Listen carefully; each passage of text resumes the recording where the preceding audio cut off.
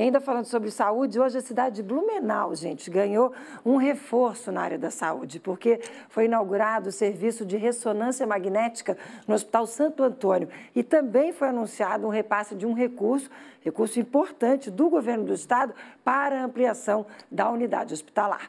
A reportagem é do Moisés Stucker. Vamos ver.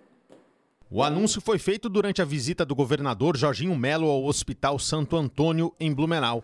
O repasse de 62 milhões de reais vai proporcionar a construção de uma nova torre de 10 andares, que vai abrigar cerca de 110 novos leitos na unidade, quatro novas salas cirúrgicas, hemodinâmica, além de um L-ponto. E essa construção dessa torre nova vai dar um status, vai dar uma nova condição ao Hospital Santo Antônio do que ele merece.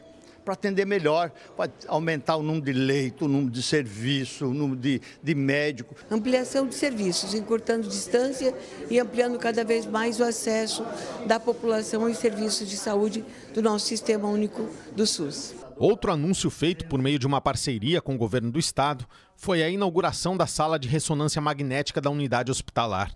O investimento de cerca de 5 milhões de reais traz mais conforto aos pacientes, que agora não precisam mais ser deslocados a outras unidades para a realização de exames. Anteriormente, nós tínhamos que deslocar os nossos pacientes até outras, outros conveniados e agora nós vamos fazer o exame dentro do Hospital Santo Antônio. Ou seja, é muito mais qualidade, muito mais segurança no atendimento aos nossos pacientes. Né? O equipamento novo já está pronto para ser usado e deve beneficiar cerca de 1.200 pacientes todos os meses aqui no Hospital Santo Antônio. Além de Blumenau, outros 53 municípios também vão ter o direito de realizar a ressonância magnética aqui no hospital. Isso é um reconhecimento da qualidade do trabalho, as ações que o Hospital Santo Antônio tem feito e vai continuar fazendo em prol da cidade de Blumenau.